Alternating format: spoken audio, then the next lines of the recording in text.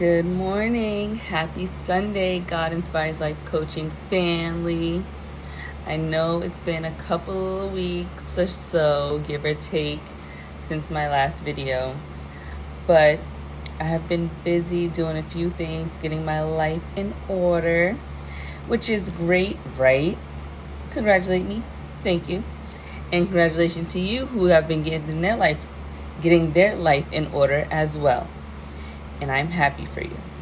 So, I have become a CNA, I'm doing nursing, and I'm a cheerleading coach. So, I'm doing great things. Thank you, Jesus. Thank God in everything that you do. So, while I haven't been posting much, God has been in my life fully giving me all these blessings, and I have been working hard for them.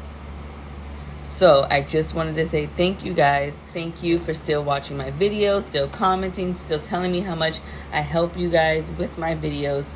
So I appreciate you so, so, so much. Um, look at my last short, well, my last couple of shorts. Um, I got a new Bible. It's the Action Bible. It's so amazing. It has so many pictures.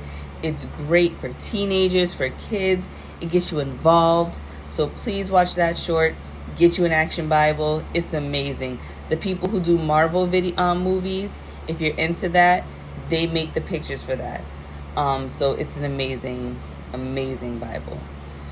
Also, just stay um, stay looking for my videos because I will be posting. I will be getting back active because I miss you guys and I know you miss me too. And we need to stay connected. God is is inspiring us to do great things. Stay and tuned I, for my videos. That's what I was trying to say. Stay tuned for more videos.